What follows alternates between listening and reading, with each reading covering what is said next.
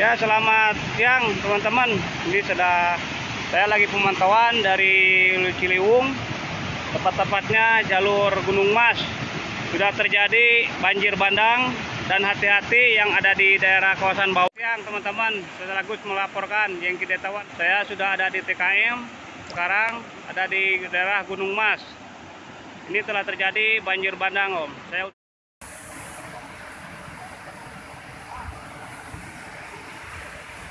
Mau hati-hati. Motor, motor tuh Ciliwu, eh. Evergreen, Evergreen. Banjir, Evergreen. Evergreen. sekarang kondisinya masih terbendung air dan macet. sudah dievakuasi warga sudah diamankan sangat aman om demikian informasinya dari Gunung Mas yang melaporkan yang Kidetawan Kilo Jurusera bersama yang kita